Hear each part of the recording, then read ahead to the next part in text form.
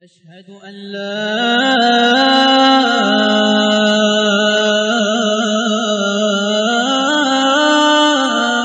إله إلا الله.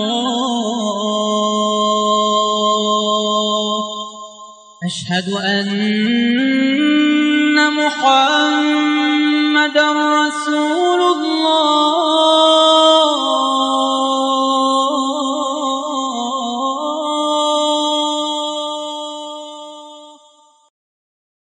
السلام عليكم ورحمة الله وبركاته.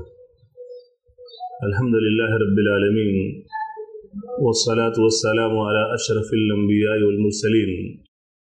نبينا محمد الذي بلغ الرسالة وأدى الأمانة ونصح الأمة وجاهد في الله حق جهاده صلوات ربي وسلامه عليه.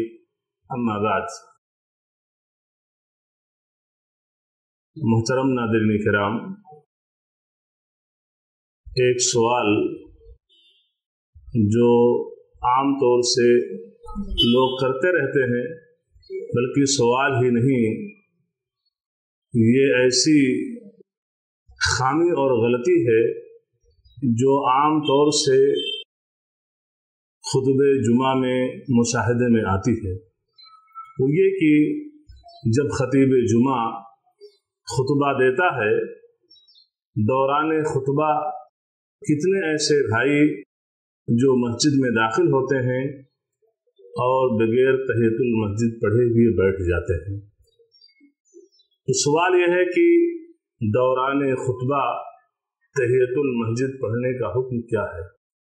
یعنی اگر ایک انسان مسجد میں داخل ہو رہا ہے اور امام خطبہ شروع کر چکا ہے تو آیا وہ انسان دو رکعت تحت المسجد پڑھ کر کے بیٹھے گا یا بغیر تحت المسجد پڑھے ہوئے اس کا بیٹھنا جائز ہے۔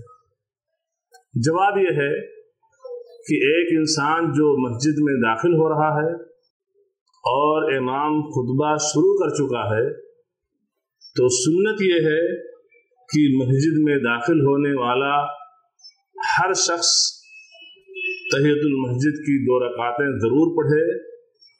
گرچہ امام خطبہ دے رہا ہو۔ کیوں؟ اس لیے کہ صحیح مسلم کی وہ حدیث، جس کے راوی جابر ابن عبداللہ رضی اللہ تعالیٰ عنہ ہیں، فرماتے ہیں کہ جا سلیق الغطفان یوم الجمعہ ورسول اللہ صلی اللہ علیہ وسلم یخطب، فجلس، فقال له يا سلیق قم فرك ركعتين وتجوز فيهما. ثم قال إذا جاء أحدكم يوم الجمعة والإمام يخطب فليركع ركعتين وليتجوز فيهما. رواه مسلم في كتاب الجمعة. حضرت جابر بن عبداللہ رضی اللہ تعالیٰ عنہ راوی حدیث ہیں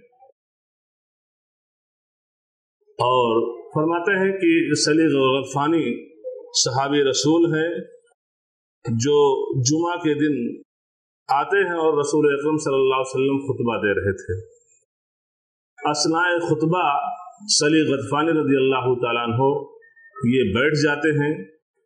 اللہ کے رسول صلی اللہ علیہ وسلم خطبے کی حالت میں کہتے ہیں کہ اے سلیق، تم کھڑے ہو جاؤ، دو رکعت نماز پڑھو۔ اور یہ نماز مختصر پڑھنا۔ پھر اللہ کے رسول صلی اللہ علیہ وسلم نے فرمایا کہ جب تم میں سے کوئی جمعہ کے دن آئے اور امام خطبہ دے رہا ہو تو اسے چاہیے کہ وہ دو رکعت نماز پڑھے اور یہ دو رکعت نماز مختصر پڑھے۔ تو صحیح مسلم کی حدیث جسے امام مسلم نے کتاب الجمعہ باب نمبر پندرہ، حدیث نمبر دو ہزار اکسٹھ۔ جس میں اللہ کے رسول صلی اللہ علیہ وسلم نے خطبہ دیتے ہوئے جب سلی غطفانی رضی اللہ عنہ مسجد میں داخل ہوتے ہیں اور بغیر نماز پڑھے ہی آپ بیٹھ جاتے ہیں، اللہ کے رسول صلی اللہ علیہ وسلم نے خطبہ بند کر دیا اور خطبے کی حالت میں آپ سلی غطفانی سے مخاطب لیے اور کہا، کھڑے ہو جاؤ اور دو رکعت نماز پڑھو ہاں تمہاری دو رکعت نماز یہ مختصر ہو۔ تو یہ دلیل ہے کہ انسان اگرچہ خطبے کے دوران مسجد میں داخل ہو رہا ہے، اسے چاہیے کہ دو رکعت تحت المسجد پڑھ کر کے بیٹھے، کیونکہ نبی کریم صلی اللہ علیہ وسلم کی دوسری وہ صحیح حدیث جو متفق علیہ ہے، جس میں اللہ کے رسول صلی اللہ علیہ وسلم فرمایا، اذا دخل احدكم المسجد فلا يجلس حتى يصلي ركعتين کہ جب بھی تم میں سے کوئی مسجد میں داخل ہو، جس کسی وقت میں داخل ہو، تو اسے دو رکعت پڑھ کے ہی بیٹھنا چاہیے، بغیر دو رکعت پڑھے ہوئے۔ وہ نہ بیٹھے، اس لیے انسان جس بھی وقت مسجد میں داخل ہو، حتیٰ کہ دوران خطبہ بھی داخل ہو رہا ہے، تو اسے تحید المسجد پڑھنے کا اہتمام کرنا چاہیے۔ اللہ تبارک تعالیٰ سب کو اس کی توفیق عطا فرمائے۔ صلی اللہ علیہ نبینا محمد وعلى آله وصحبه وسلم۔ والسلام عليكم ورحمة الله وبركاته. أشهد أن لا